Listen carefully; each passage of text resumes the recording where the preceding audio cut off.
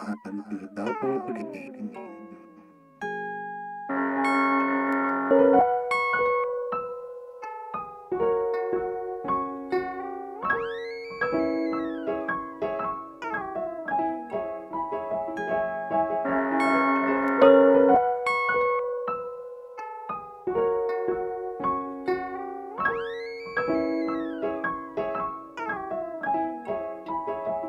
Thank you. thank you.